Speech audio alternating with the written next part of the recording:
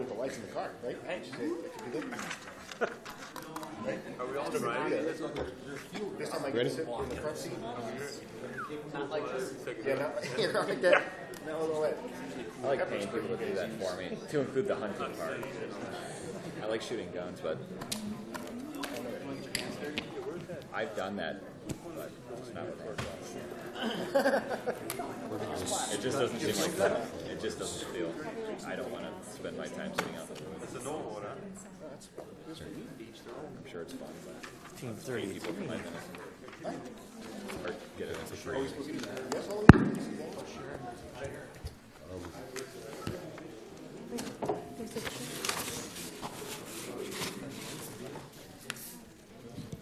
This is pass.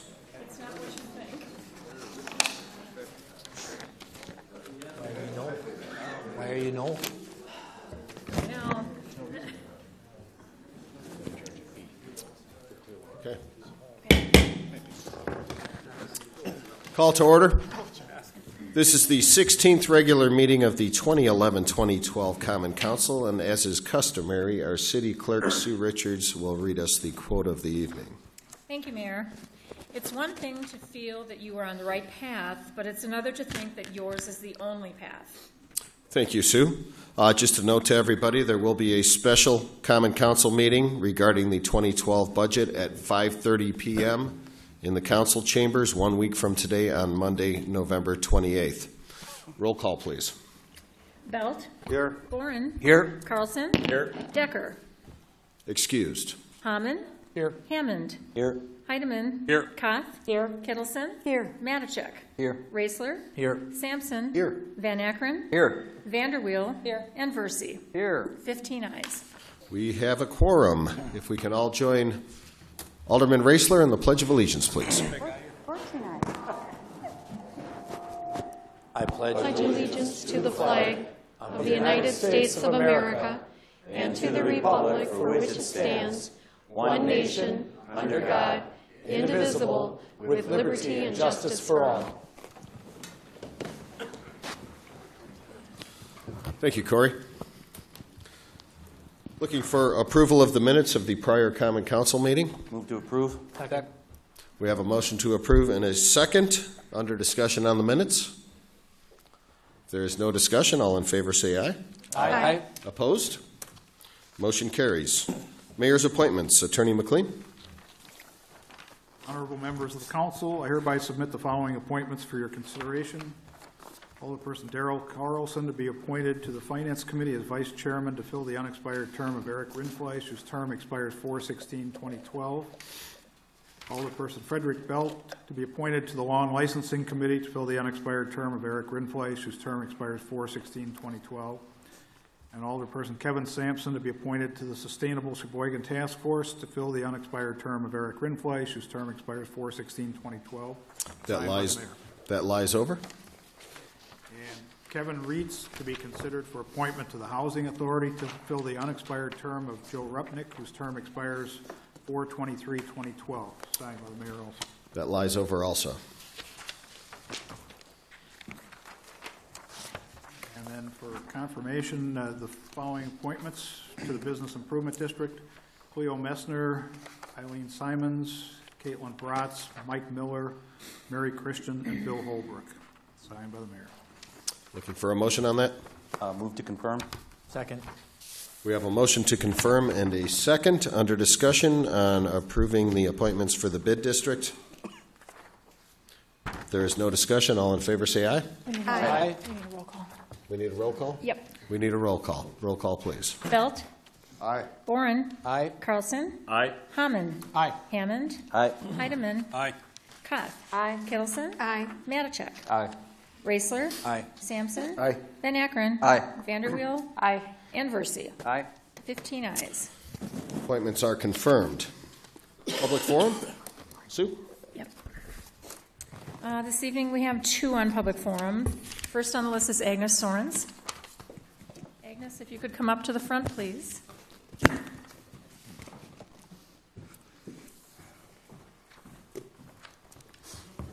Agnes, I need your home address.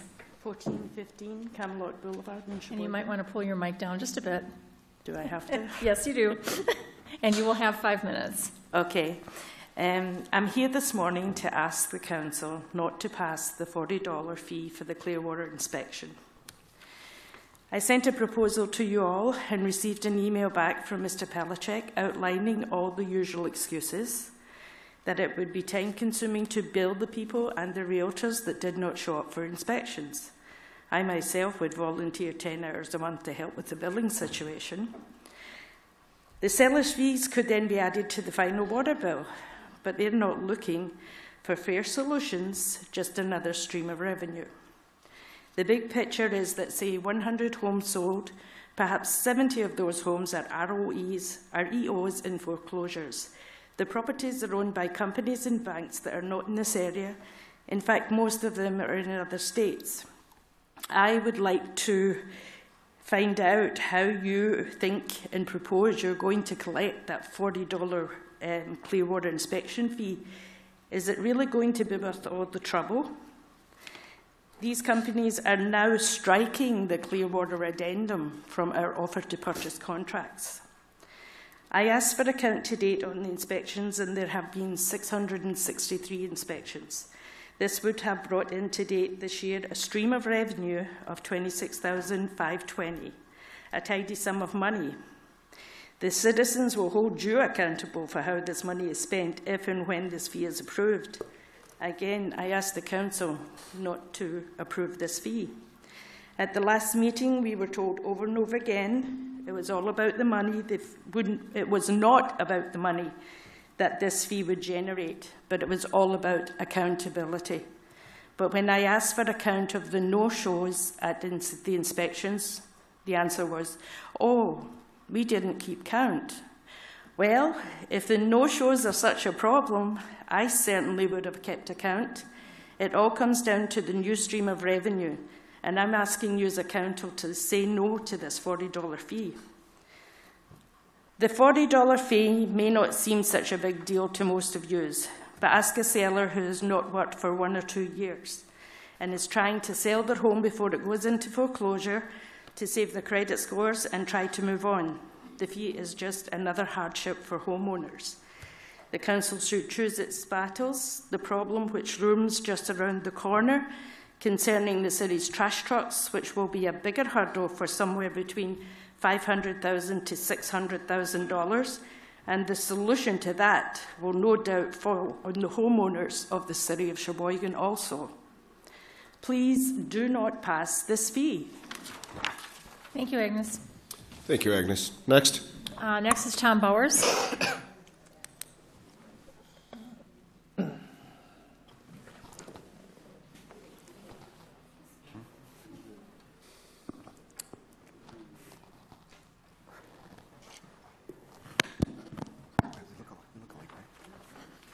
Tom, can I have your home address, please?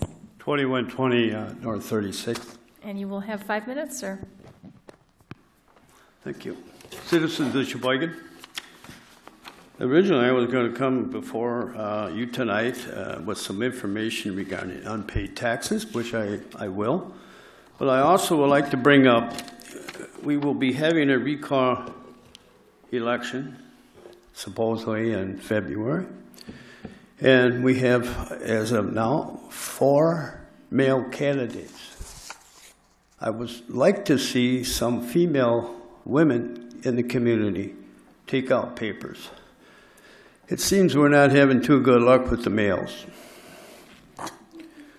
So I think if we have enough qualified females, that they would give this serious consideration so that the males that we have running are nothing wrong with them, but maybe a change of view with some uh, women, the head of city government. So, ladies, give it a thought. Okay, now to get into what uh, originally I was going to speak on, I, the unpaid taxes in the county of Sheboygan. And I was fortunate that the county uh, treasurer gave me the following information, just so you can follow along. unpaid taxes in the year of 2002 to 2003 at the end of September, $1,520. So approximately one $70,000 house in the county did not pay their taxes then. 2003 went up to 18,221. 2004, 32,312. 2005, 73,176.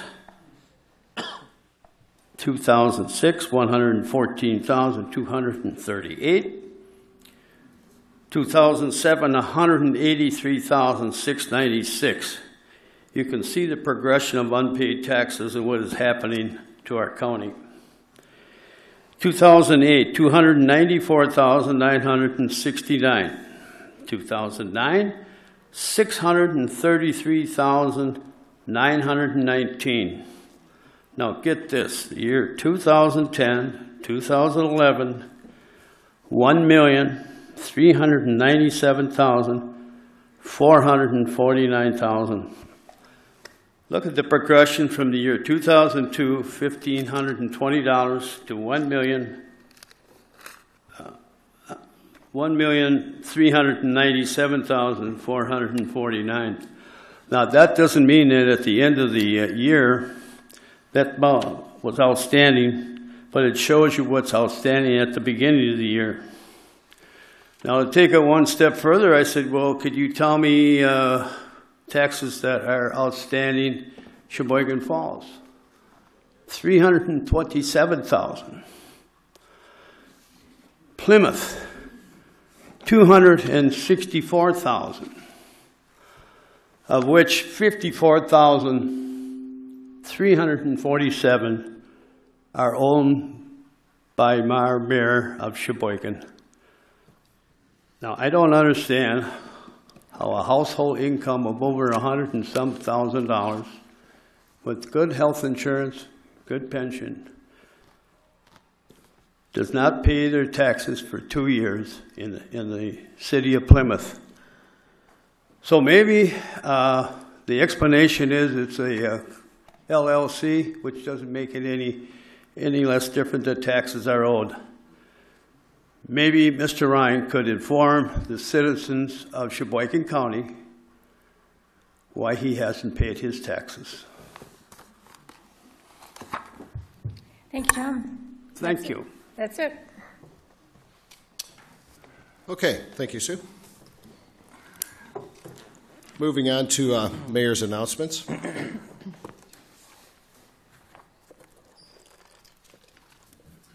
First of all, I would like to address uh, the former Alderman Bowers' uh, uh, comments on the city of Plymouth. I still do own one property out in the city of Plymouth, which is a business. Um, that indeed there are some property taxes owed on that business. Uh, there are many property taxes owned by many businesses and LLCs. This is an LLC, an S corporation uh, that I do not operate myself. So that is the explanation Alderman Bowers if he's looking for an explanation. I have been a full time mayor for the last three years. I do not operate that business. I have been operating this business as the mayor of the city of Sheboygan. Uh, you are not allowed to work another job. And on top of that, um, if anybody knows anything about the commercial market out there, and we have realtors in this room, uh, there's a lot of properties that are upside down in, in the commercial business. All of my taxes in the city of Sheboygan are paid. My home taxes have always been paid. Uh, that entity is a commercial property. It is not my personal taxes. It is not my home taxes. Um, if that answers Alderman Bowers, I appreciate you for your uh, uh, information there, Alderman Bowers. Um, I appreciate that. So hopefully that explains it to you. Alderman Bowers, I'm speaking. Please sit down. Former Alderman Bowers, your your time to your time to finish. Your time has come. You're done talking. Please sit. On a lighter note,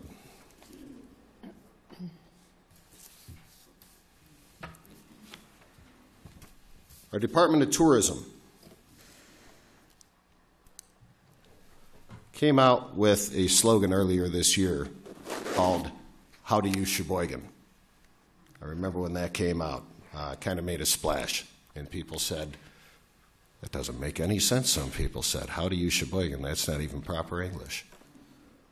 I looked at it and I said, I had nothing to do with this. I didn't know about it. I think it's gold. I said, I think it's great. It's a catchy phrase.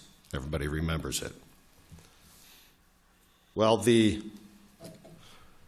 Marcom Awards, which is a national award giving, it given out to marketing campaigns, has named the How to Use Sheboygan campaign, have given them a gold Marcom Award. This is a national award for the How to Use Sheboygan uh, campaign. So this was a campaign that was uh, designed by uh, Amy Gutierrez and uh, George Tuig in our Department of Tourism, and uh, Amy Wilson, excuse me. Now Amy Wilson. So they won a national award, a gold Marcom Award for marketing and promotion category for the 2011 How to Use Sheboygan Award, and they should be congratulated. They also got an honorable mention, an honorable mention for a T-shirt design um, on the How to Use Sheboygan campaign, which was something that was uh, inspired by Slater Gutierrez. Slater is uh, Amy's seven-year-old son. I don't know if any of you have met Slater. If you ever met him, you'd remember him. Uh, Slater decided that uh, his How to Use Sheboygan T-shirt would be called "I Fight Zombies," and he received an honorable mention for that. Uh, for that, so we congratulate them. Uh, Sunday, November 27th, is the Christmas parade, also known as the holiday parade. I will have to say that. Um, begins at 5 o'clock p.m. I believe the route will be the same it always is. Uh, it will go north on 7th Street to Erie Avenue and then back down uh, south on A Street. We'll end at the library. We will have the city tree lighting immediately following that, uh, at which we hope uh, many people will show up. And at the same time, uh, we will have cookies and hot chocolate, uh, which have, uh, will be done by my wife and my mother-in-law as they have in years past. So we hope everybody joins us for the lighting of the Christmas tree and the singing of some Christmas carols. Also, uh, immediately following this meeting will be a committee of the whole meeting. We will take about a 10-minute break following this meeting, so people that don't want to stay for the committee of the whole will have time to uh, vacate, and that will be uh, aired live also on television. That is all I have for uh, mayor's announcements. Um, Are we going to do the, We'll do the zoning hearing first. okay, first we will do uh, hearings. We have two hearings this evening. Number one, to amend the city zoning map to change the use district classification of 1216 Union Avenue from NR Neighborhood Residential to NC Neighborhood Commercial. And number, okay, that will be, that will be the first hearing. Uh, Is there anybody that would like to be heard regarding this hearing? We have one gentleman, two people that would like to be heard regarding the uh, changing of the, the classification at 1216 Union Avenue. Sir, if you'd like to be heard, please step up to the mic. Can you give me your name, sir? My name is Phil Ninnerman. Philip Ninnerman, right? And your address, sir? Live at 1804A South 17th Street. South 17th. Go ahead. This has to do with the, the property at 1216 Union Avenue. My homestead property is adjacent to that property. And uh, I'm suggesting that it remains neighborhood residential rather than go to neighborhood commercial because it's a nice little neighborhood. It's, uh, and it's been being, being pushed out by the businesses, one particular business. And I would just like to have it maintain the neighborhood like it always has been. And it's uh, as long as the properties are uh, taken care of, it's a good little place to raise kids, good little area. There's there's kids in every house adjacent to where I live, and uh, they're all good little kids. And I like to see them have a, a comfortable neighborhood, and that's my recommendation. Thank you for your time. Thank you, Mr. Ninderman. Thank you, sir. Next. Ma'am, please step up.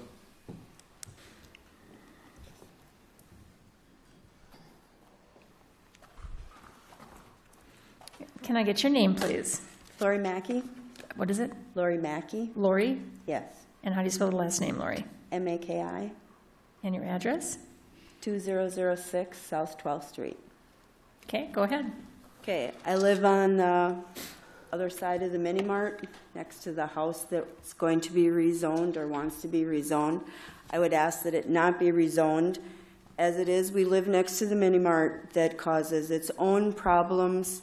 Um, we have a terrific amount of garbage that comes from the mini mart, not only from the mini mart and its dumpsters that are supposed to be kept closed, locked. They are not. You can go there today and see dumpsters that are overflowing, that garbage is in our yard on a daily basis. There is not a time that we have to cut our grass that garbage is not part of our grass cutting. A garden that is not full of garbage, and granted, the mini mart was there when we moved in. It is something that we have to live with, but I would ask that we don't have to live next to another building that goes up because once it goes from a residential, one property becomes commercial, the next one goes commercial, and then it goes further and further. It's hard enough to keep our neighborhood that goes secular from being nice neighborhoods, and people are trying to improve on their houses to businesses with garbage and people walking to the mini mart, dropping their wrappers, dropping their food, their containers. I have cigarette wrappers today in my driveway, in my flower beds. It's just a mess. There's garbage, there's unrunning traffic, and adding more to it is just gonna make the problems 10 times worse. And it greatly affects us because we live next to it, but it does affect the whole neighborhood.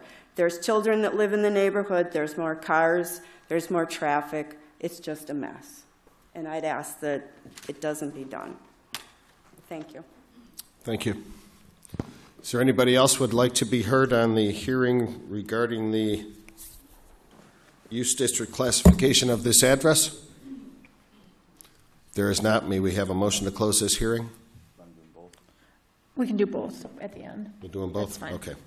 Okay, we will go to the second public hearing then. This is a hearing at which any resident or taxpayer of the governmental unit shall have the opportunity to be heard on the proposed budget. Anybody that would like to be heard, we do have a list. Um, Now, I will remind everybody that the uh, discussion is limited to the budget. First on the list, Sue? I'm going to call a few people up so you don't have to climb over everybody to get up here. The first group, why don't we have Christina and Indigo come up? And Maeve, could you come on up and be ready after the girls are done? And Arthur Zettel? Arthur, could you come up and just be behind Maeve? That'd be great. Girls, you want to come over here? All right, They can't reach the mic, sorry. So who wants to talk first? Um, you want to talk first, or don't you get a little closer to the mic? Okay, go ahead. You want her to go first? You just go ahead and read it. We love the books at Mead Public Library. The place is special to us. It is our future. Read the back too. You can read the back. Libraries rule. Books at books are the key to our hearts. They make us smarter. Save our future. Don't shut us down ever. We we are second graders from Longfellow School. Okay, girls, uh, you want to say something? Okay, go ahead. You're embarrassed? Okay, that's all right. I think they got your message. Thanks, girls. Thank you, ladies. Next. Maeve, I won't make you come up. I can't go up there. No, that's okay. Um, uh, Thank you, Mayor Ryan, um, aldermen, and citizens for this opportunity to speak with you tonight. Um, My name is Maeve Quinn, and I'm a city resident. I'm also president of the Board of Trustees of Mead Public Library.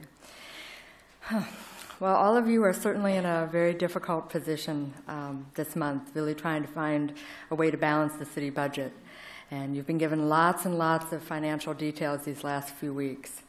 Um, these last few years, of course, have been quite challenging economic times for Sheboygan, and the library has done its best with the, with the reductions to its budget.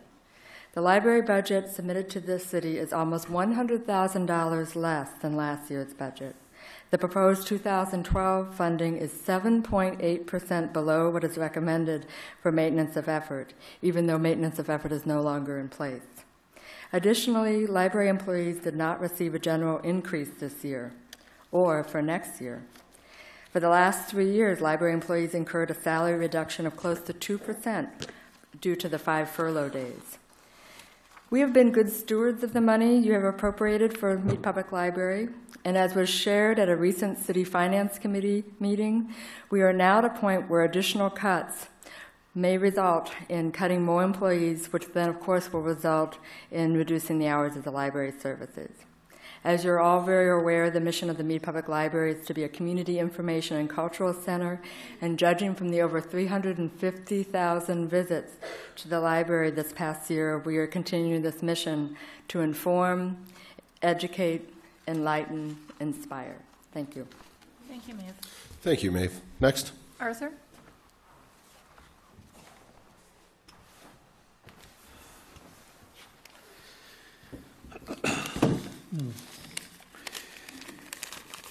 Well, my name's Arthur Zell, and uh, I had a couple things here, but I think what I'm going to do is uh, really make it simplified.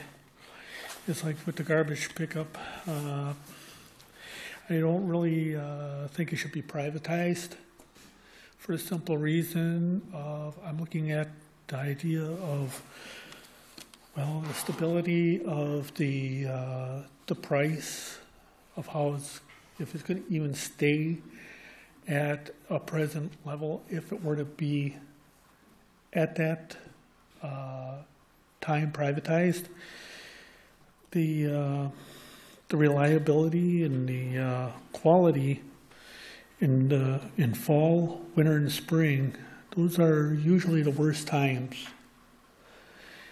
And being that I'm disabled to start with, uh, and I do have a hard time getting around. It's usually uh, my concern, and uh, with the bu- and with the budget, well, I feel that it's going to be more expensive in the long run for the citizens of Sheboygan to have this uh, privatized, because when you have something privatized, they can uh, skew the uh, the amount of money that uh, they charge, and sometimes maybe uh, like uh, with this uh, lady that was up here talking about uh, 16th and 17th Street with the garbage.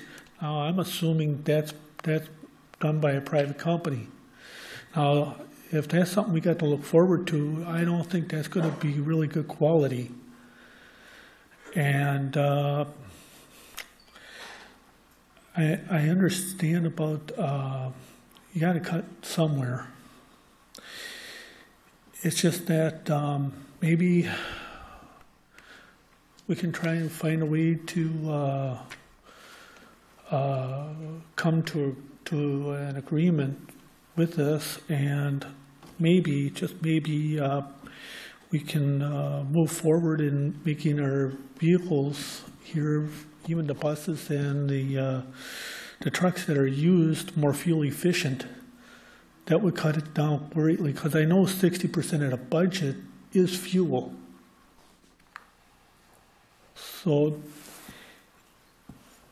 this is what I'm looking at, and I'm and I'm hoping uh, that the rest of you look at look at the uh, fine print when you think about privatizing, because I don't think it's it's going to work very well for the rest of us, because we may end up eventually having individual bills instead of having one bill either on our taxes or, well, that's all I've got to say. Thank you. Thank you, Arthur. Thank you, Arthur. Next. Uh, Why don't we have Mary Lynn Donahue and Corey?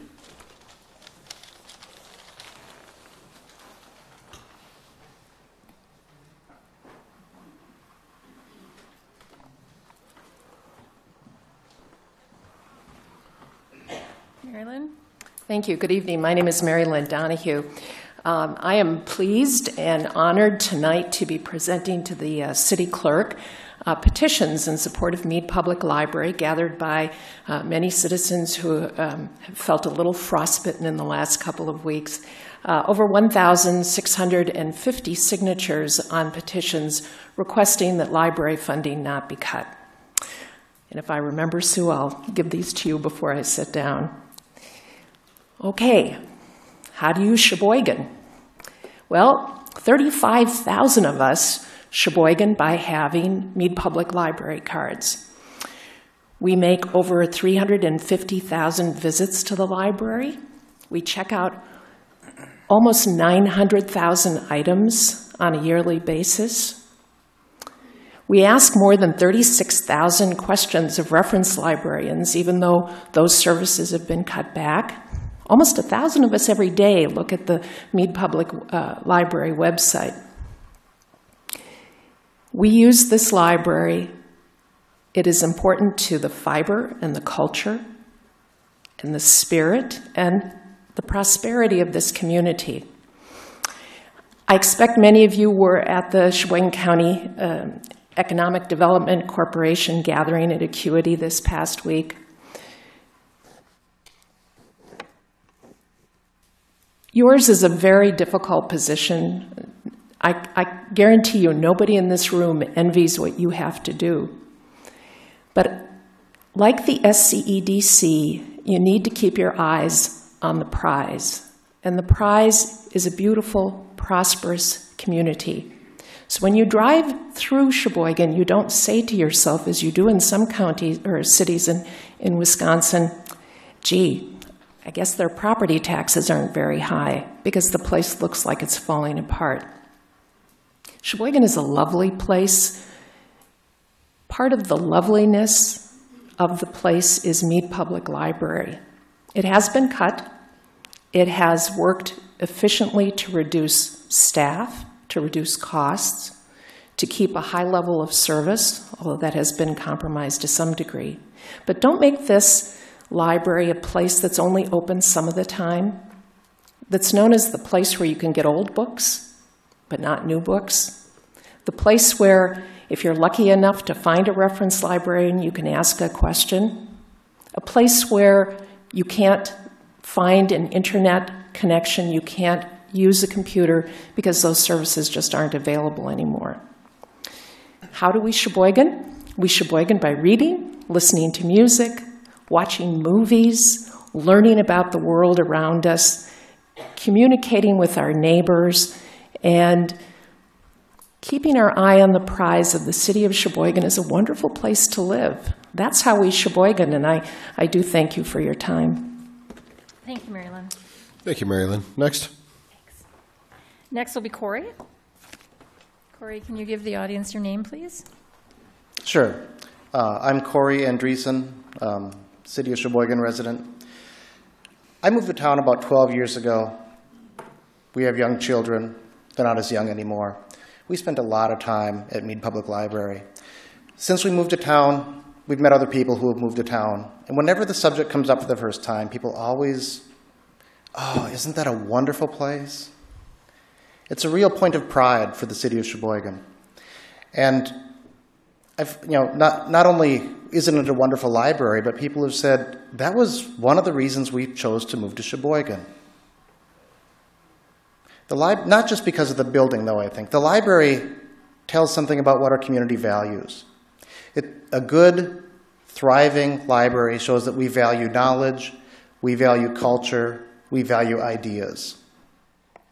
And I think we need to keep valuing those things. And I know the budget is tight, and I know tough decisions have to be made, but when we look at what's happened at the, the schools in the community, the library staff there has been decimated already by budget cuts. We've got library staff doing what two, two and a half people were doing a few years ago. It's anybody who thinks that the service hasn't declined because of that is deluding themselves. So we don't have any control over what goes to the public schools, what comes from the state, but we can control what we do with our public library here in town. And I think we really need to maintain that um, beacon for our city. Thank you. Thank you, Corey. Thank you. Next. Then we have, can we have Carol and Kathy Krieger? Is Kathy, yeah, Kathy's here. Carol, can you give everybody your name, please? Carol Dussault, 2736 North 30th Street. I came here tonight to, to speak on behalf of the Mead Public Library. Like all the other people who use it, I'm amazed constantly at all the things the library does and provides.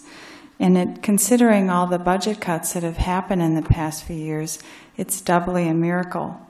Um, you know, especially things like the Sunday hours.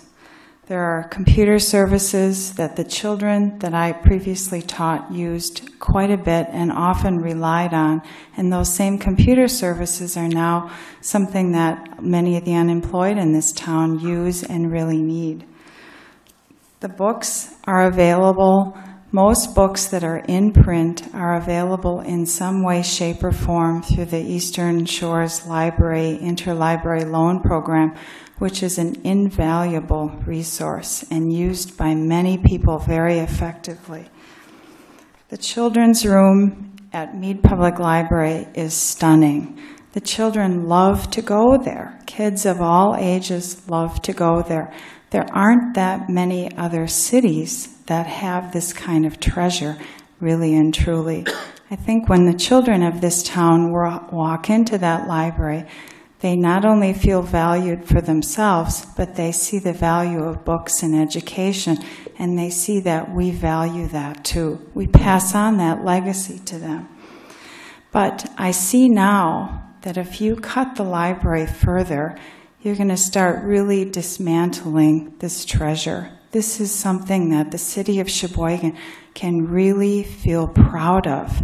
It's one of the treasures one of the centerpieces of this town, and that's, as previously mentioned, people come here all the time and are amazed at what they find here. At this time, when everything is so polarized in our politics, I don't want this city to send a message that being informed and educated isn't a priority. Thank you. Thank you, Carol. And Kathy?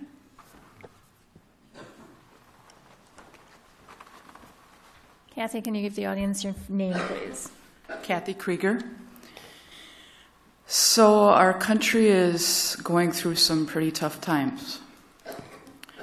And during tough times, we often need to pull together as a community to overcome those times. We've been through bad times before, tough times.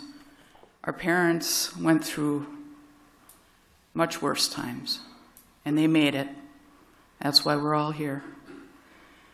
We can do it again, but I'm ta- I want to talk about the library as a community center. During tough times, people seek out community and they seek out places where they can go to improve themselves, to seek out others who can help them, to seek out resources that can help them and, li- and a library can serve that purpose. It's the closest thing to a community center this city has. I recommend the book Dewey. It's, it's a nonfiction book about a library cat, but It talks about the, the times when the, we had the small farm crisis in this country. It's set in Iowa. And it talks about how that library became the community center that helped people through. People sought out the resources there to find other jobs because they couldn't work on the farms anymore. So I think we need to very carefully look at the funding, at cutting funding for the library. I think it's a very important resource and you shouldn't uh, do that rashly. And um, I think it's also a good idea that if you have to make cuts, that you remember that the people at the top earning scale have gained a lot over the last 30 years. And maybe those are the people that need to start making some bigger sacrifices since they got bigger benefits over the last 30 years. So maybe you want to look there. I also want to speak um, about privatization of, of our garbage service. I'm concerned about that. Uh, I think that you lose some accountability. Uh, we've always had good garbage service. I've lived in this city all of my life. I've never had to worry about my garbage not being picked up. The biggest worry I've had is getting it out on time for them. Um, they've done a great job all these years, and I'd like to see it continue that way. I've, I've read and heard about horror stories out east where some of these services are privatized and by not so nice characters, and then you have garbage piling up because of you know work stoppages and and other political wranglings. So I would sure hate to see that happen to Sheboygan. I've I, I've traveled a bit out west, and I've seen places where you drive, you, you're amazed by the garbage lying on the side of the road, and you can't believe that they can let their communities be like this. But you come here and you see that Sheboygan's a pretty darn clean city. Let's keep it that way. Thank you. Thank you, Kathy. Thank you, Kathy. Next. That's it. That's all. Okay. Thank you, everybody, for speaking. We have a motion to close the hearings. Um, Absolutely. Um, I move that we, that the hearings be closed. Second. We have a motion and a second to close the public hearings. Under discussion, any discussion? All in favor of closing the hearings, say aye. Aye. Opposed? Hearings are closed. On to the consent agenda. Consent agenda 16.1 through 16.15. Vice President Hammond. Thank you, Mr. Mayor. I move that RC, uh, all RCs be accepted and adopted, and all resolutions and ordinances be put upon their passage. Second. We have a motion and a second to put 16.1 through 16.15 upon its passage under discussion. There is no discussion. Roll call, please. Boren. Aye. Carlson. Aye. Hammond. Aye. Hammond. Aye. Heidemann. Aye. Koth. Aye. Kittleson. Aye. Matichak. Aye. Raisler. Aye. Sampson. Aye. Van Akkeren. Aye. Vanderweel. Aye. Versie. Aye. And Belt. Aye. 15 ayes. Motion carries. Reports of officers two. 1616 lies over to November 28th. 1617 through 1620 to be referred. 1621 to be referred. Resolutions introduced three. 1622 by Alderperson Kittleson, authorizing acceptance of 2012 Wisconsin's Bureau of Transportation Safety Seatbelt Enforcement Grants. Alderperson Kittleson. Thank you, Mayor. Um, I would ask for a motion to accept this grant and put the resolution upon its passage. Second. We have a motion and a second to put the resolution upon its passage under discussion. And under discussion, we can see this is a a $30,000 grant. This is the third year in a row that we've gotten this grant to assist in developing uh, the city's capacity to provide additional patrols engaging in high-visibility enforcement of speeding and seatbelt enforcement. Thank you, Alderperson Kittleson. Any further discussion? There is no further discussion. Roll call, please. Carlson? Aye.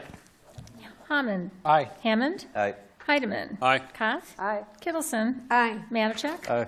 Raisler? Aye. Sampson? Aye. Van Akkeren? Aye. Vanderweel? Aye. Versi? Aye. Belt? Aye. And Boren. Aye. And not 15, but 14. Motion carries.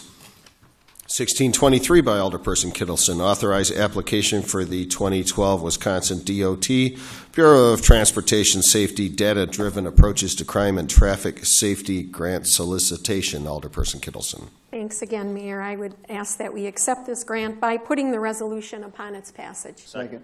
We have a motion and a second to put the resolution upon its passage under discussion. Under discussion, this is a $35,000 grant. Uh, I believe this is the third year in a row for this one as well from the Wisconsin Department of Transportation Bureau of Safety. Um, And this would uh, uh, be for deployment of resources to high-visibility traffic enforcement based on local crime and crash data. Thank you, Alderperson Kittleson. Any further discussion? There's no further discussion. Roll call, please. Hammond? Aye. Hammond? Aye. Heidemann? Aye. Koth? Aye. Kittleson? Aye. Matichak? Aye. Raisler? Aye. Sampson? Aye. Van Akkeren? Aye. Vanderweel? Aye. Versi? Aye. Belt? Aye. Boren? Aye. And Carlson? Aye. 14 ayes. Motion carries 1624 by alderpersons Hammond, Boren, Matichek, and Van Akkeren approving Information Technology, Technology Department Policy IT-06. Vice President Hammond. Thank you, Mr. Mayor. I move the resolution be put upon its passage. Second. Motion and a second to put the resolution upon its passage under discussion. Uh, Vice President Hammond, IT-06. Thank you. Um, This is a policy that has to do with social media, Twitter, Facebook, those types of things that, as we go into that age and the city gets more involved in that, um, uh, they felt it, and we felt the need to have that. And I'd just also like to make a comment. uh, Dave did a great job putting this together, so thank him for his efforts. Thank you, Vice President Hammond. I'm familiar with Twitter myself, so. Any further discussion? If there is no further discussion, uh, all in favor say aye. Aye. Opposed? Motion carries. 1625 by Alderpersons Hammond, Boren, Matichek, and Van Akkeren, authorizing the Chief Administrative Officer to enter into contract for obtaining audit services. Vice President Hammond. Thank you, Mr. Mayor. I move the resolution be put upon its passage. Second. Motion and a second to put the resolution upon its passage under discussion.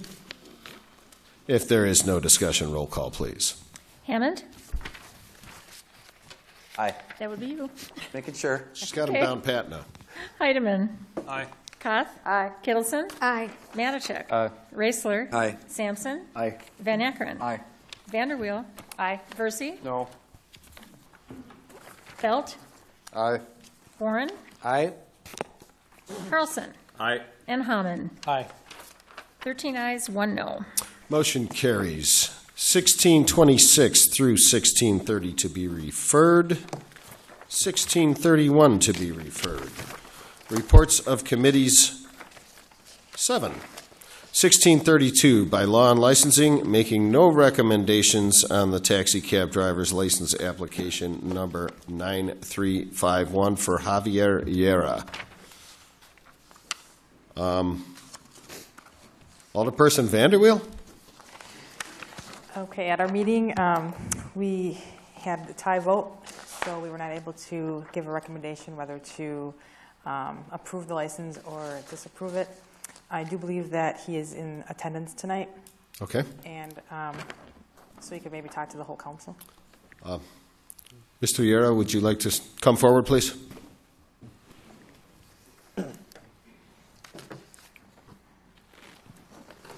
Alderperson Vanderweel, can you tell us why the committee was Unable to make a decision? Yes, um, he uh, revealed a 2008 domestic disorderly conduct, a 2008 bail jumping, a 2010 misdemeanor stalking, and a 2011 violate domestic violence order. He did not reveal a 2009 violate domestic violence order and two 2010 uh, disorderly conducts. We, the police department did have a concern as to the fact that um, there's quite a few uh, domestic things as well as felony stalking. And um, although it has to do with family issues, it, um, his, his wife is living in town, and there was just, um, the committee couldn't decide, couldn't uh, make a decision either way. Uh, It was 2-2 on the committee, I take it? Two-two, yes. Okay. Mr. Viera, would you like to speak? Yeah, sure. Please. Um, what would you like to know? Um, Why you, you know, if we can just have an explanation as to why um, uh, you think that uh, the council should approve this license and maybe explain some of the uh, questions that they may have regarding, regarding uh, what you revealed and what you didn't on the, on the application. Well, I, I thought I did put it on. I mean, it's not a, uh, let's say something I want to hide. I mean, I tried to list all I, what I could remember. Um, I even spoke to that lady over there, and I tried to list everything that, you know, I could remember, and I even went to the courthouse to pick up my uh, uh, criminal history, and I brought it back to her, and we went over everything. And um, bottom line is, I'm not trying to hide anything. I'm just trying to find employment here. I had two jobs from Milwaukee that I lost coming up here to be with my wife, and to try to tell everybody about our our history would would take a very long time. Um, it's it's in it's in depth and uh, it's it, it goes further than what is on paper. You know, I have here a bunch of character letters that I have with me from other people that from the years have um, have been in uh, involved in our, our cases and things like that. And um, it's uh, we have a counselors through our church that are working with us and things like that. So I don't think that it would be an issue for me to. Uh, or, or recognized as an issue for me to be trying to stalk my wife or anything like that because that's it goes deeper than that, you know. And it, it wasn't. Again, I just took the plea because it was such a good plea deal at the beginning. I, I should have fought the case because I probably would have won, but he gave me a deal. DA gave me a deal, so I took that. And like I said, I told him before that the only reason I it, it went through is because I got revocated because of being in Sheboygan when I had court. Um, and that's the only reason everything got deferred, and one thing led to another, and that they had to give me the, the felony stalking. Um, but um, I don't, I don't, I don't think I'm a threat to anyone. My wife, I mean, she had one before, and she, you know, this is something that she's done before, and she, day, the day of our, our divorce, which was June 17th of last year, she wanted to reconcile. She told her lawyer, her lawyer told my lawyer, and you know things turned around. You know, so it's it's up and down with us. And um, again, I've lost two jobs behind this, and to go home now is uh, is probably harder now because I have a a Christian-based organization that I'm with here. I'm with the Band of Brothers, and I do uh, the, uh, the Upper Room, and I do a lot of things with the Love and Marriage and uh, the Respect with the, the Emerson videos and things like that. So, um, what's on paper is totally different, you know, and uh, it's it's it's difficult to just explain everything right now because it's it's so up and down, you know, and it, it would take forever for me to explain everything in detail. Thank you, Mr. Ure. Are there any questions from the council? Alderperson Koth? Thank you, Mayor Ryan. Um, I was actually one of those no votes uh, based on the fact that you've been in the city of Sheboygan since March. Uh, you have no history of employment in the city of Sheboygan, and the police department had uh, concerns with the felony stalking, and uh, I based that on the with my no vote. Thank you, Alderperson Koth. Uh, the, the stalking was uh, with your wife? That's where the Allegedly, charge yeah. came from before you reconciled with your wife? Right. And, you're not reconciled? And we're not right now. No, You're not, She wa- at the time um, when they, they said it was the, the stalking, she actually started speaking on my behalf with the DA, and and that's why the plea was uh, two years probation, 20 days in jail. So that's how I went from a stalking to me having two years probation, 20 days in jail because she spoke up for me. So that that to me s- says a lot about my wife and how we are up and down and I mean, no one, no one's gonna say, yeah, he's stalking me, and then turn around and st- stand up for you. You know, it's it's just up and down. Thank you. Mr. Yara. Alderman Boren? Thank you, Mayor Ryan. Uh, Mr. Yara, what kind of work did you do when you were in Milwaukee? I was um, in the hospitality industry, hotel industry. I was um, hold, uh, I was the, the head doorman for the Pfister Hotel for seven years, and I was at the Women's Club of Wisconsin for five years. And just current, or about a year ago, I was at the uh, DoubleTree, uh, which was previously the Holiday Inn, and then before that, the Howard Johnson. So I've been in, in the hotel industry. Have you, have you, if I could follow up, Mayor, have you looked for any hospitality positions in Sheboygan? I have, but there hasn't been um, any any turnouts, positive turnouts. Um, the chain is the chains are littler, you know. So all the little hotels they don't have that many. Um, what I did, what I was doing was valet, bellman, you know, uh, things like that. You know, shuttle driving, and you know, Sheboygan's pretty small, and that's why I wanted to try to try to do the uh, the taxi taxi license so I can drive the, the limousines. And he says, well, Santos, I believe, or Santana. Santana. I don't know why. Yeah, Santana says that you know it, they do stuff here and they also go through to Milwaukee. And I know Milwaukee pretty well, and I mean that would be right up my alley. Is just to you know go to Milwaukee, come back here, and be based here, and uh, and just go from there. You know. So are you the looking to- hospitality service industry? Are you looking to go to work for Mr. Santana then? Exactly. And this is the first step in a, in a long process too. So it's this is the first part of getting to there. So Did I understand you correctly to say, tell the mayor that uh, you are presently with your wife or you are not? we're separated. You're separated. Right. Okay, thank you. Thank you, Alderman Boren. Any other questions? Alderman Raisler, please. Uh, I'm, I'm just curious how your driving record is. That's fine. Have you ever had your driver's license suspended or revoked? No, no, not that I know of. No. Thank you, Alderman Raisler. Any other questions for Mr. Yara? You may step down, sir. Thank you. Thanks. Okay, if there are no more questions, no more discussion, um, we will go to roll call, and I vote would approve the license. A, oh, we need a motion first. Uh, Do we have a motion on the floor to approve or deny? Vice Thank you, Mr. President. Mayor. I move that we approve the license for Mr. Yara. Second. We have a motion and a second to approve the license for Mr. Yara. Any further discussion? If there is none, an aye vote would approve, a no vote would deny. Roll call, please. Heidemann? Aye. Koth? No. Kittleson? Aye. Matachek? Aye. Raisler? Aye. Sampson? Aye. Van Akkeren? No. I'm sorry? No. Vanderweel? Aye. Versi? No. Belt? Aye. Boren? Aye. Carlson? Aye. Hammond? Aye. And Hammond? Aye. 11 ayes, 3 noes. Your license is approved, sir. You can go to the city clerk's office tomorrow. Thank you. Okay, moving on.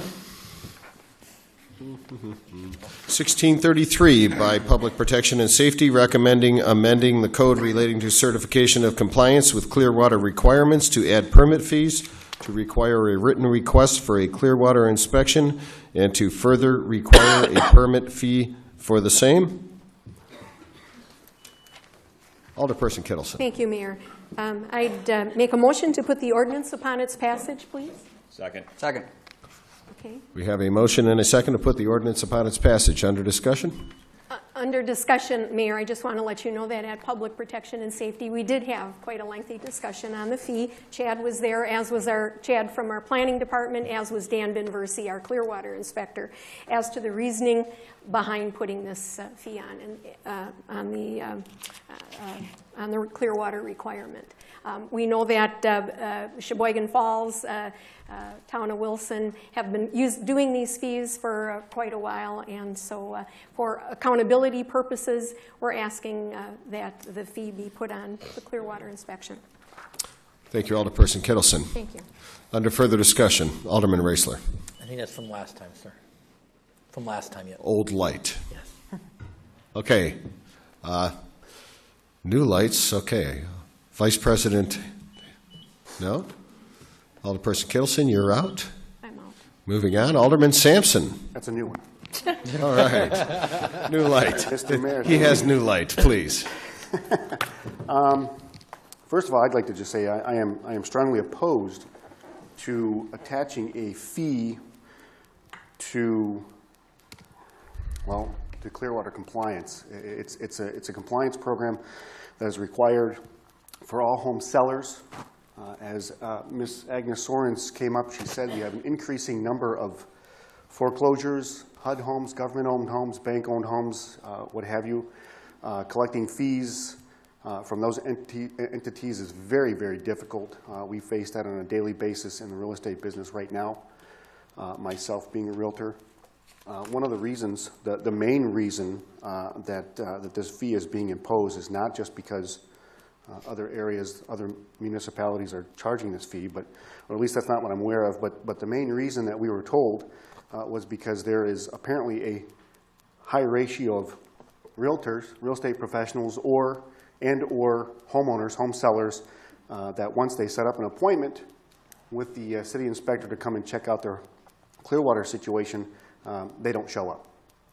Uh, So as uh, retaliation, in my word, in, in my sense, is they're going to attach a $40 fee to the sale of every home for Clearwater compliance to help with the accountability of a small percentage of realtors uh, that may be repeat offenders in this situation. I believe there may be a better solution to this. Um, They also state that it may be easier for billing purposes to just attach it to all home sales, just to make it easier. Uh, But I, I believe uh, there are easier solutions, there are better solutions, that if you have repeat offenders, go after the offenders, not on everybody else. So I I think this is just a penalty uh, that's being imposed upon all home sellers and not just geared towards the folks who are the offenders in this case. So I would hope that, uh, that this at least gets voted no, or at least some, some chance we might be able to put this on hold for further discussion with the Board of Realtors in, uh, uh, for Sheboygan County. Thank you. Thank you, Alderman Sampson. Alderman Boren? Thank you, Mayor Ryan. I would like to uh, open the floor to Chad Pelishek so we can kind of get the, uh, the city's uh, view on this fee. And I guess one of the questions I'd like to ask Chad is that if there is a closing, if a realtor has a closing on uh, a property, and let's say it's a month down the road, can't there be some kind of a deadline set up that the Clearwater inspection has to be done 10 days or two weeks before the closing?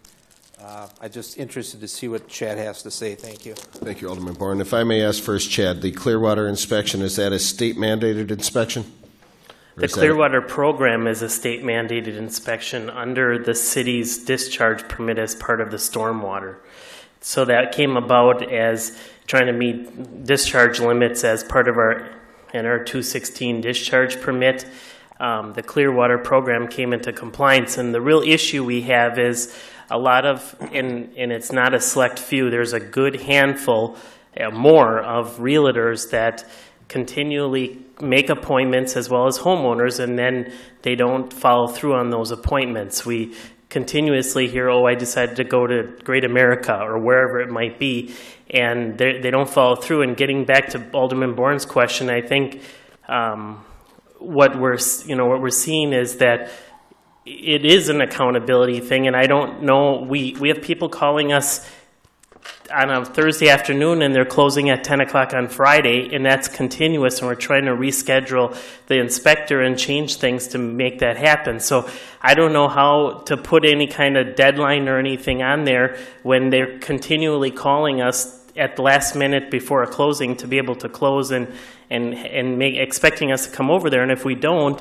it's you know they're calling the mayor they're calling me um, that we're not working with them. So I don't you know this is a not something new. The town of like Alderman Kittleson brought up the town of Sheboygan the town of Wilson charges $35 the village of Kohler charges $50 they all have a written request, and then you pay the fee and you do the you do the appointment. So that's what we're looking for. We have a retirement of the plumbing inspector coming at the end of the year. Um, we'll be bringing on a new person after the first of the year, and Um, it's going to be a lot for that person to learn, and it's not only Clearwater that this inspector is doing. I brought up at Public Protection and Safety that at two years ago we had two plumbing inspectors. Now we're down to one plumbing inspector, and doing Clearwater half the time and plumbing for new construction and remodels the the other half the time. And to be honest with you, there's no way of catching up with paperwork. So it, the, the time is precious. There are 15 minute increments throughout the day, and that's you know what we're trying to do is hold people accountable. At least that they're there, they're on time, and they're not skipping the appointments. This, this fee for service, this would be something that would be included to the seller in the closing costs or the home buyer in the closing costs? The seller, I, the seller and the closing costs. The seller in the closing costs. Okay. Thanks, Chad. Uh, further questions for Chad? Alderman Carlson? Thank you, Mayor. Isn't another issue you have is the uh, uh, multiple repeat visits to households? Correct. When we, a lot of times we'll go there, they'll do an inspection, there'll be five issues, four issues that need to be dealt with. They'll call us back and say the issues are taken care of. We'll go back there, they did one of the issues. Some places they make two, three trips there before it's in full compliance. So it's just a continually re, uh, inspection, and that's why we laid it out as upfront. We'll give you a forty dollar initial fee. If we if there's issues and we go back and you take care of all the issues, you pay nothing. And if there's continue issues, it's another forty dollars. So a reinspection fee of the forty dollars plus the initial. Thank you, Chad. Uh, Alderman Vice President Hammond. Thank you, Mr. Mayor. Um, I guess a, a, couple things, and nothing directed at Chad. Um, I think um, one of the things we need to be cognizant of is, is you know, the taxpayer shouldn't be in the, in the business of funding things that aren't necessarily for the common good. And I, that's where I think things like this, and hearing that you know, realtors and individuals are scheduling appointments, not showing up. And these plumbing inspectors and city employees have a lot of things they need to do. Um, and I think their time is valuable as well. Um, $40 is not an onerous fee for someone selling their house. Um, and I guess I would make one other comment, um, and this is probably directed more at Alderman Sampson. As a member and a realtor, I have a real concern with, with you voting on this. I'm just going to say that publicly um, because you do have an interest in this, um, a financial interest in this. Um, but the, um, I, again, I fully support this. I think, again, it's not an onerous fee. We're just, the city's trying to cover its costs, but also hold people accountable. Thank you, Vice President Hammond. Alderman Van Akkeren? Nothing? I just wanted to hear from Chad. Alderman Sampson, did you have anything else? Yes, please.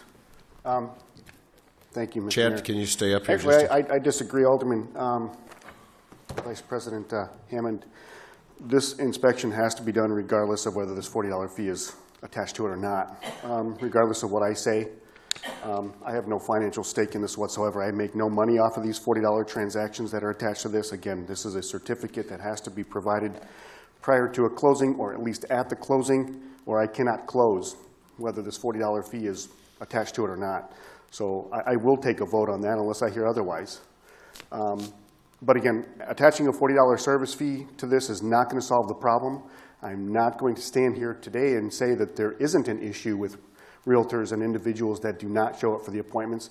But again, I, I think it needs to be addressed with those individuals, maybe attach a $40 service fee to their issue of not being able to uh, uh, stand with their schedule, and that'll be uh, the city inspector. Uh, but I don't believe you should attach this to the sale of every single home. This is just attaching an additional fee.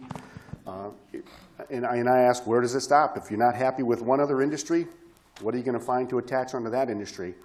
Uh, whether it's real estate, car sales, liquor sales, uh, whatever. If you're not satisfied with the way they're doing things, you're just going to attach another fee. So I ask, where is it going to stop? If you're not satisfied with one, you're not going to be satisfied with others. So um, again, I would just ask that you vote no.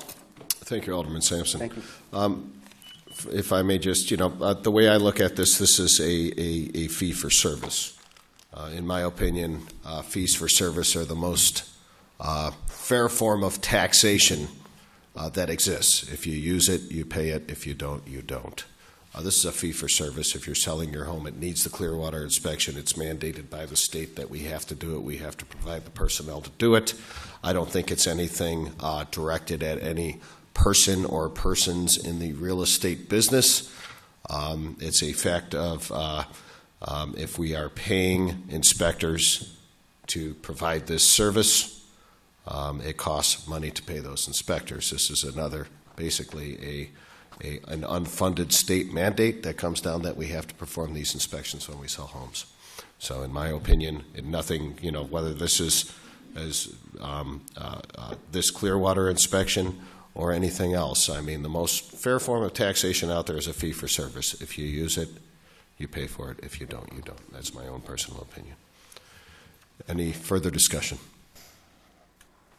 Thank you, Chad. Okay, any further discussion? If there is none, um, we will take a roll call vote. An aye vote would pass, a no vote would not. Roll call, please. Koth, Abstain.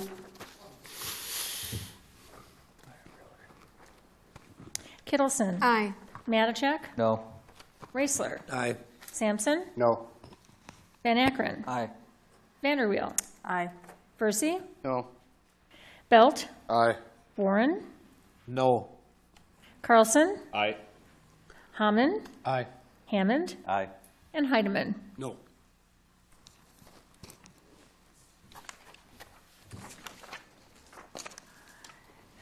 Eight ayes, five noes, and one abstention. Motion carries.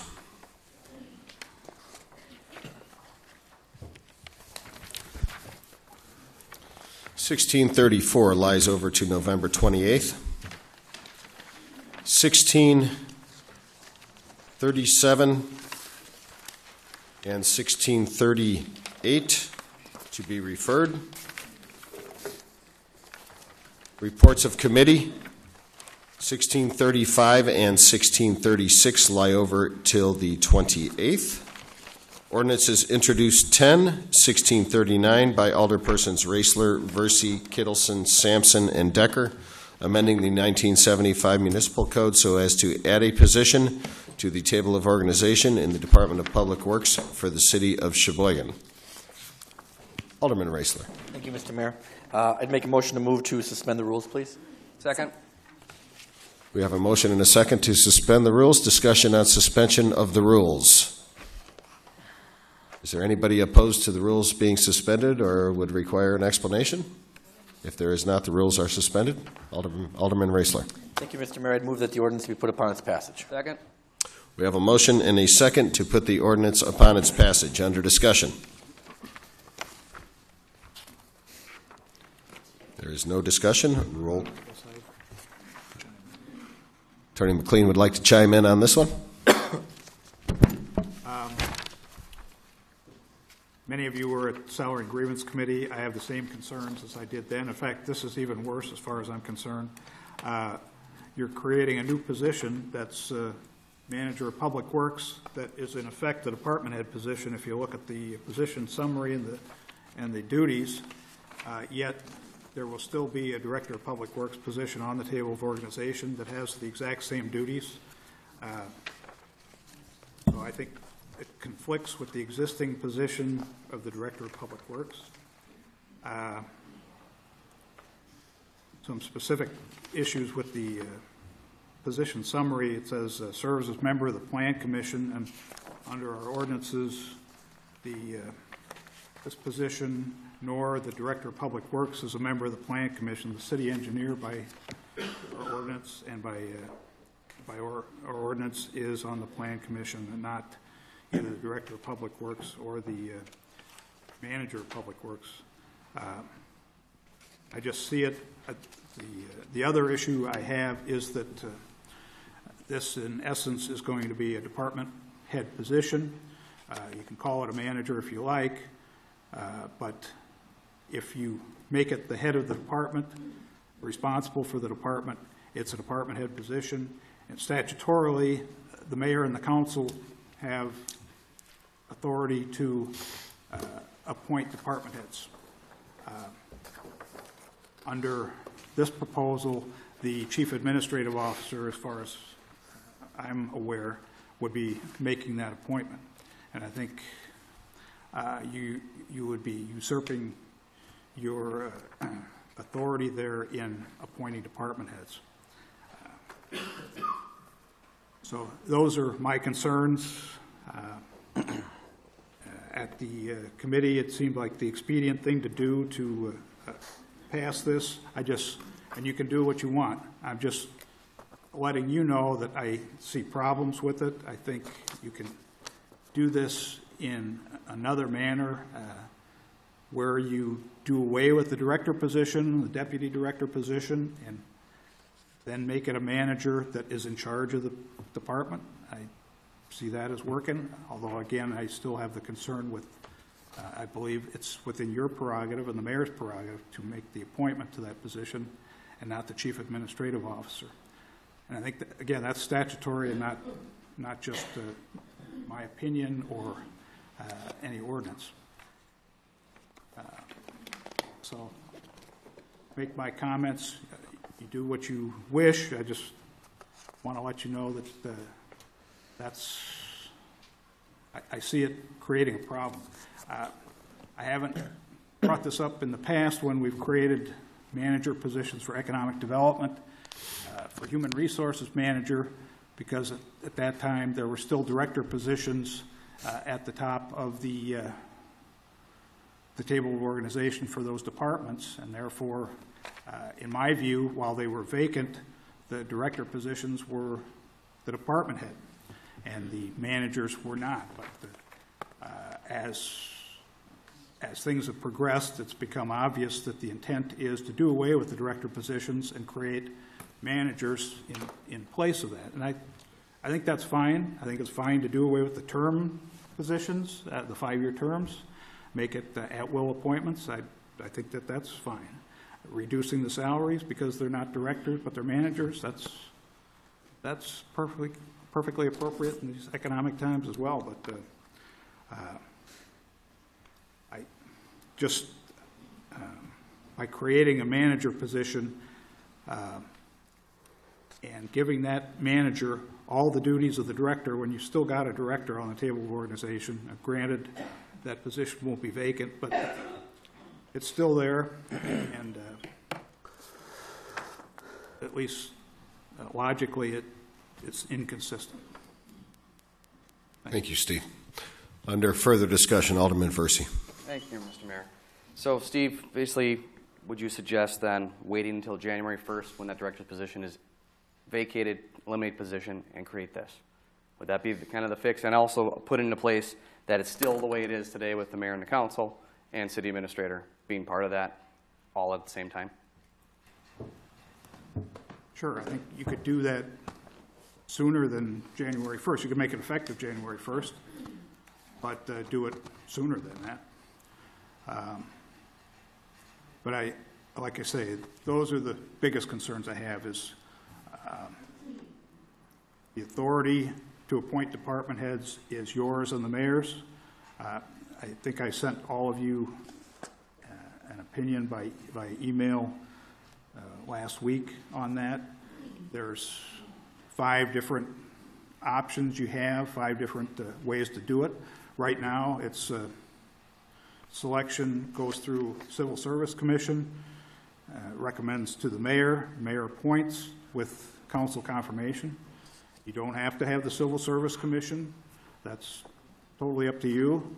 Uh, But you need to have some, uh, some scenario of the mayor involvement or, or the council involvement or some combination of the two in, in the appointment. Um, Yeah, in the, in the past, we have uh, either uh, run these through the Civil Service Commission. This is an in-house promotion we're doing here. Um, Obviously, everybody knows who the candidate is for this position, being Dave Biebel, who has a lot of experience. Um, the, you know, the way the statutes read right now that we have in the ordinances in the city, um, and, and uh, in the past, we would, we would, if we were interviewing multiple candidates, we would have a hiring team of staff in the city, which would be several people, and then one person would be chosen from that, um, and it would be, that, and that candidate would be uh, more or less chosen by committee, but chosen by the mayor, and then put to the council for approval. Um, Now we have our chief administrative officer, Jim Amodio, um, in, in, in this mix, with, which this individual would report directly to Jim. Um, Obviously, any decision that would be made would be, um, coming out of the mayor's office would be in, in agreement between the mayor and the chief administrative officer before it was appointed, before it was um, uh, given to council for approval. So, you know, I, I believe uh, in, in, you know, there needs to be certain checks and balances in government. Uh, I don't, I, you know, I don't have a problem with a, an agreement of the mayor and the chief administrative officer and then approval by the council on, on, on a position such as this. Steve? Uh, I know Alderman Boren and I have been having some discussions over salaries for, uh, for mayors, where you've got chief administrative officer, and I looked at the, uh, the statutes today, in fact, on uh, city manager council forms of government. That's, that's a different form of government, but under city manager form of government, the city manager does statutorily appoint department heads and others. Uh, But under a council mayor form of government, the mayor and the council appoint uh, the department heads, the officers of the city. Uh, I don't see any problem with the chief administrative officer providing recommendation to the mayor, uh, or a list of three, or however you want to do it, but uh, uh, I think that's how you need to do it, is uh, the mayor and the council being involved. Under further discussion, Alderman Sampson? Thank you, Mr. Mayor. Uh, This is for Attorney McLean. Um, So really, we have, a- we have an issue here with keeping, uh, of, crea- uh, we're trying to streamline the whole entire table of organization. So uh, by creating this manager of public works, in addition to the other spots that are open, we have an issue with having all these spots at the top open. Right? We have one or two positions open since this manager is basically going to fill positions of these spots, but we have still one, two, or three different positions open on the table, right? Yeah, my concern is logically, you could do that, and that's what you've got currently in some of the departments, but you still got a department head, but you, the manager is not on your job description, the head of the department in those circumstances. You know, here, you're clearly making the manager the head of the department when you still have the director and the deputy director on the, on the TO. And if you said in the job description here that the manager reports to the director of, of public works, I wouldn't have a problem with that. Then it's not a department head position. If I may follow up? Please. Thank you, thank you. Then, then the procedure for eliminating those, those spots and cleaning those up now would be just a, it would- would- could you explain that procedure for, for working on those, and who does it? And then is, is it a lengthy process that, that's something we can take care of immediately and clean this all up? To, uh, to delete the public works director and the deputy public works director. Yes. Uh, you do that by ordinance, and in fact, the, at salary and grievance, there are ordinances that were, uh, well, I don't know if they were drafted or not, but there was reference on the, uh, at least on the, uh, the agenda for deleting those two positions. Uh, That's just by ordinance. I mean, you've got to do it by ordinance, uh, to delete those two positions, create a new position entitled manager, uh, make the manager the head of the department. Um, uh, It's not that complicated to do. The, the one, there is one issue that arises in doing this, though, with, in this particular situation, is the residency requirement for department heads currently. Now, that's another thing that uh, you could address by ordinance. You could create an exception uh, for a newly created department head who is currently, you know, a current city employee that does not reside in the city. But in my view, uh, you know, right now, you've got an ordinance in place that says all department heads have to reside in the city, period. It doesn't say, you know, there's any grandfather provision for, for not doing that. Uh, And I know that creates some obstacle, although I, I don't think it's insurmountable for the uh, proposed candidate for the position. Thank you, Steve. I, I think the idea is to um, uh, create this position. Obviously, uh, the table of organization has changed significantly over the last couple of years. um, with creating managers' positions, with putting uh, the, the former IT director um, initially under finance. Um, Now we have the, uh, our chief administrative officer that has everybody under him, but the idea is then to combine some departments where we have finance, uh, HR, IT, uh, under, you know, one, one department. Uh, So we're going to be making significant changes. Uh, I believe that what we're doing now is we're filling some positions. We're going to have to change the ordinances on the back end of it and basically clean up the table of organization. I've still got one on my wall in my office. Matter of fact, there's one right up there. Uh, What we're doing right now in the city hardly looks like that chart, like that octopus. We're going with more of a straight line organization. So, um, you know, to create this position, I don't see a problem with it, whether it's a manager or director. This is the head of the Public Works Department. Um, And, uh, yeah, and, and I, I don't think uh, that uh, it's all that complicated, to tell you the truth. Alderman Boren, did you have something else? Thanks, Mayor. Uh, Not to uh, get away from this uh, Public Works uh, manager, but what was the process that we we just used to hire the, the manager of HR? Was that a, was that, did that come through the Civil Service Commission, or how was that, how was that appointment handled? And do we still have the HR director on the TO, but now we're going to have a manager? So we got, we got the same thing there, right? Yes. Uh, Although it's my understanding that, yes, there's still a Director of Human Resources on the table of organization, and I believe the HR manager position uh, was, uh, the interview process and the appointment was through the Chief Administrative Officer and the uh, HR consultant. Um, The, one thing with Human Resources, uh, I think there's been discussion about making that a division of the Finance Department, like IT, where uh, under that sort of scenario, that would not be a department head level position anyway. The manager would be like a division level. Uh, So the same issues don't really arise there. But yeah, you've still got the Director of Human Resources on the table of organization. Uh, You've got the Director of Community Development still the table of organization. Uh, I think Yeah, if, if you recall, when, when we began with the, the whole idea of, of uh, changing some directors' positions to managers' positions, um, you know, we had the, the, the HR director uh, with two people under them. We had the IT director with four people under them.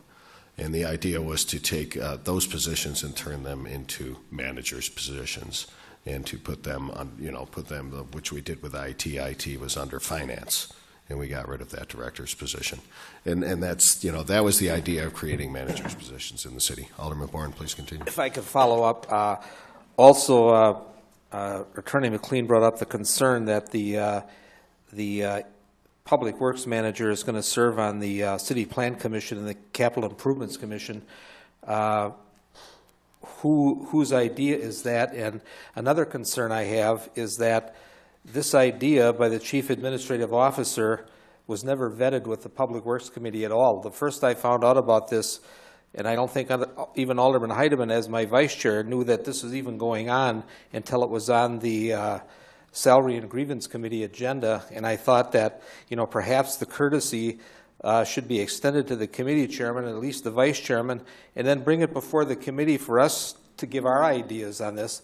We were totally bypassed in this. As I said, the first I knew about this was when it was on the salary and grievance agenda. But getting back to my original question, uh, whose idea is it for the uh, Public Works Manager to serve on the City Plan Commission and the Capital Improvements Commission? The uh, Director of Public Works, I believe, has always uh, served on the City Plan Commission or Capital improvements. Capital Improvements Commission. Yes. Right, but not on, not on the City Plan Commission. That's correct, although I did look at the ordinances uh, last week on that, and it's still, the ordinances call for the city engineer to be on the Capital Improvements Commission. I think uh, that's something we need to clean up, because I believe the, the uh, Director of Public Works has served on the Capital Improvements Commission for a number of years. uh, Mhm. But But not on city plan. not on city planning. But now it's being proposed that he also be on city plan. Well, that's in there. I don't know why that's in there. Couldn't tell you. I guess that's my question. Who, who proposed that? So it's news, that's news to us also on the Public Works Committee. Uh, This, is this in the job description, Alderman Boren? Yes, it is. This would have- Uh, this would have uh, come through Number, number three, number three on typical duties. uh, I didn't even notice it until uh, Attorney McLean uh, made mention of it tonight. This would have come through uh, salary and grievances then that way.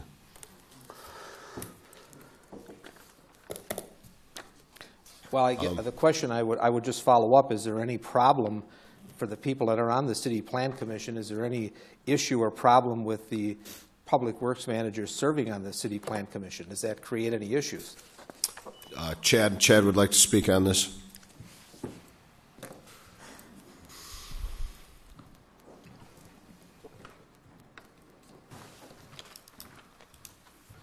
This isn't against the candidate for the position, but the reason I think the city engineer had been on the uh, plan commission is because a lot of the pro, uh, projects that come forward, the new development are re- directly related to stormwater drainage and erosion control. And historically, the city engineer had been the one that uh, would approve those, so he was aware of those as those issues came forward to make sure that there was no um, you know, issues from that perspective. Now, the, the Dave could very well take that uh, role over, um, but I think the reason it was is the city engineer has, at one time when the departments were combined and engineering was part of planning, you know, it was kind of like this one-stop shop.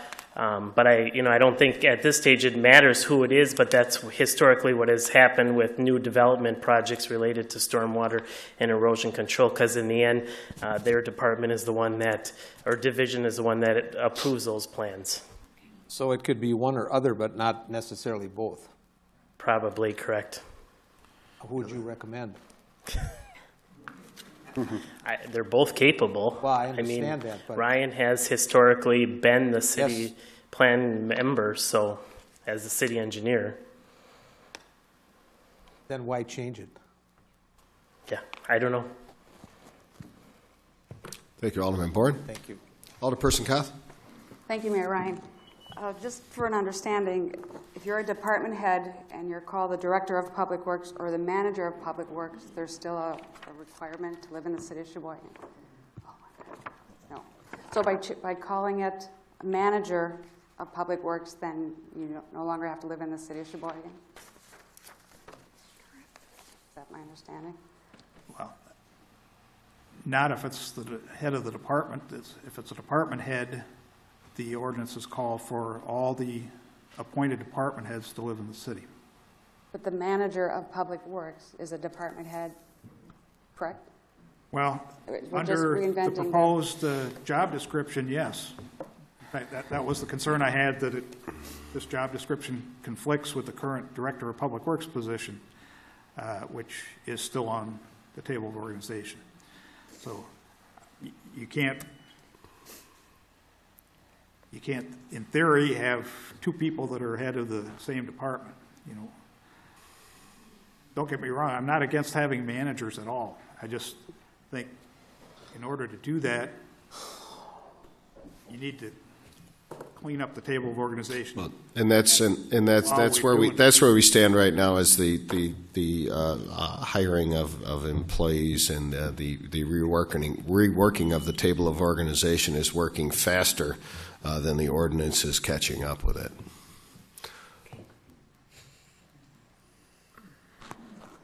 Alderman Sampson?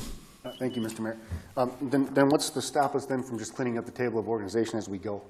If we're just going to, if we're going to create a management position, can we just clean it up as we create these positions so we don't have to deal with this lengthy discussion? Because we're going to run into this again up.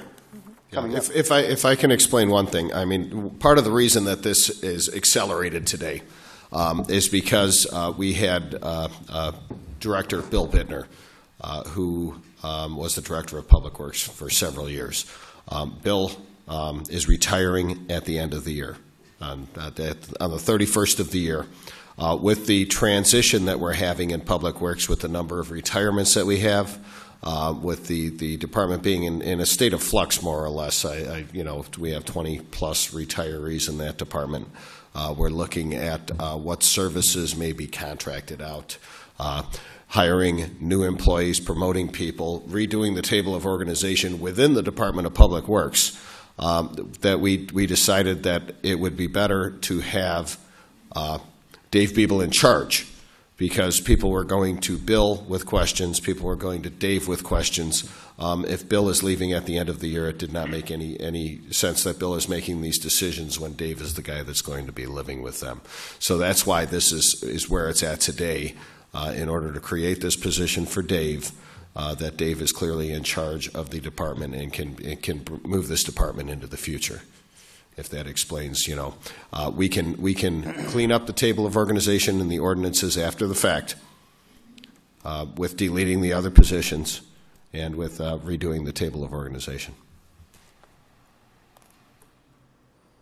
Vice President Hammond, please. Thank you, Mr. Mayor. Um, I'm not a big fan of um, moving things back to committee, and I understand what you were just saying. I think, though, as deputy director, he's got um, at least some clout there as as uh, Director Bittner's on his way out. I think with the concerns and some of the things that are brought up, again, I'm not a big fan of moving things back to committee, but maybe that's where it needs to go. Um, have some of these conversations, get those things cleaned up, and bring one document back on what would be December 5th or something like that, um, and get it done then. Um, it's just my thoughts. Maybe it needs to go back to committee. That's, that's probably not a bad idea, and I think at the same time we should refer it to Public Works um, and to salary and grievances once again. Is that a motion? I'll second it, if it's a motion. Yeah, fair enough. You motioned, Alderman Boren seconded. That we re- refer this uh, to Public Works and to salary and grievances. All in favor of re... Dave, would you like to speak?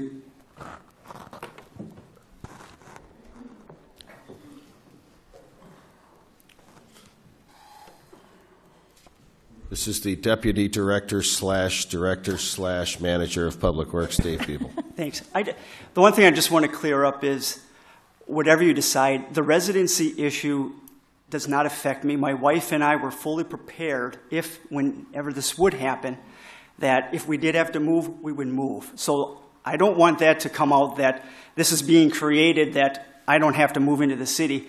Uh, we, that was fully, I guess, our intent if I ever got the promotion someday in my career, that that was a, a distinct possibility. So I just wanted to let that everyone know that it's not the case.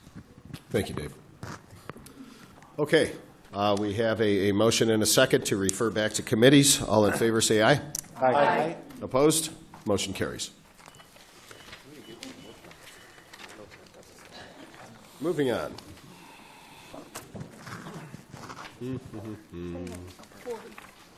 Where are we at, 40? Yep. Okay, 1640 lies over. 1641 by Alderperson Kittleson, amending the municipal code so as to create section 2646 relating to the registration of vacant buildings. Oh, I'm sorry, that will be referred. As a matter of fact, 41 through 44 will be referred. Matters laid over 11, 1560, RO number 2491112 by the city clerk, submitting as a matter of information the estimated cost for a potential ma- po- potential recall primary and primary and/or recall election of the mayor. Thank you, Mr. Mayor. I uh, move to accept and file. Second. A motion and a second to accept and file under discussion. There's no discussion. All in favor, say aye. Aye. Opposed? Motion carries. 1518 lies over to November 28th. 1519, RO number 2511112 by the City Plan Commission, amending the city's zoning map to change the use district classification of property located at 1216 Union Avenue from NR Neighborhood Residential to NC Neighborhood Commercial classification. City Planning, Alderman Sampson. Thank you, Mr. Mayor. I move that the RO be accepted and placed on fire and file and the move, the ordinance be put upon its passage. We have a motion. Do we have a second? Second. We have a motion and a second. Under discussion, we have Alderman Boren. Thank you, Mayor Ryan. Uh, after listening to the concerns of the uh, two people that spoke tonight, I'm wondering if the planning commission had any discussions in changing that zoning. Is there any immediate plans for that because of the change in zoning, or is it just being done for future considerations? Um, The Planning Commission uh, discussed this. What uh, the plan is, this is a a vacant home uh, sitting next to the property where this uh, convenience store gas station is located. Uh, Their plan is to demolish the home and to expand this into a, another entry exit, if I'm not mistaken, Alderman Sampson? Correct. Uh, So we didn't, uh, we didn't see any issues with it on city planning. Right now, it is a vacant property. Uh, Chad, do you have something on this?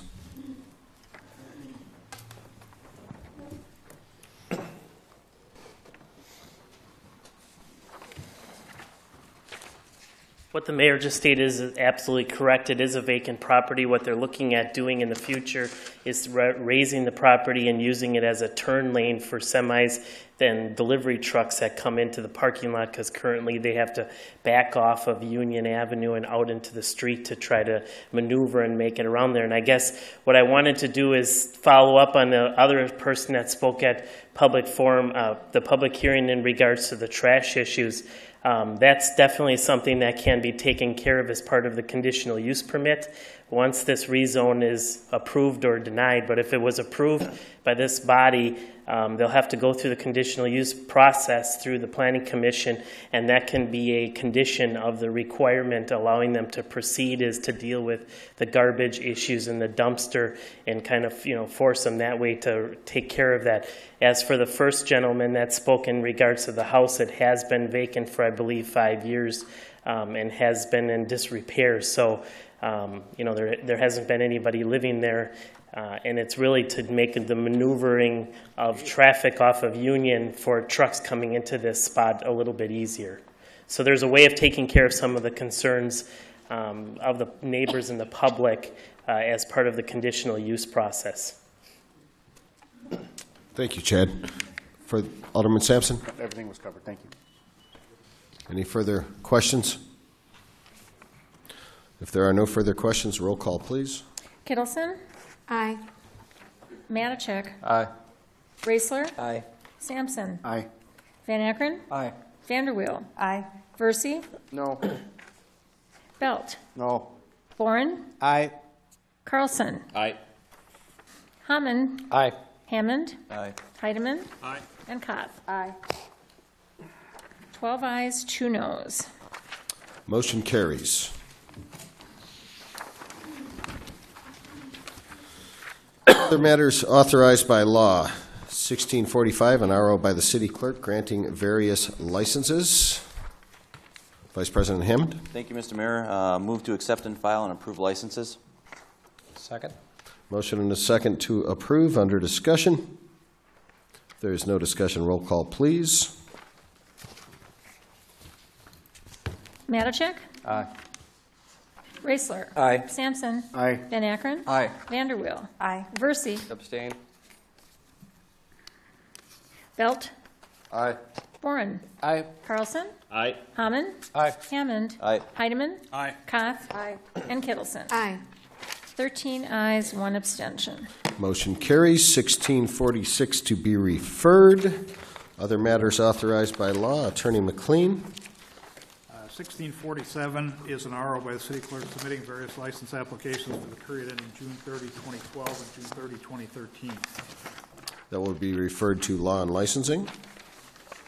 1648 is an RO by the city clerk submitting a communication from Alderperson Boren being a survey of mayor's salaries from various municipalities.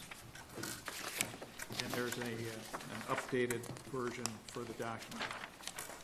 Uh, Is this referred? I think we might have a referral on this. Refer to committee of the whole. Referred to Committee of the Whole. That is all. Do we have a motion to adjourn? We will reconvene at five minutes to nine for the Committee of the Whole Second, meeting. second, second. Thank you. For the Committee of the Whole meeting, or we will convene, period. So, motion to adjourn. Do we have a second? Second. All in favor, say aye. Aye. Opposed? Motion carries. Hey, please be like that second that won't go anywhere, all right?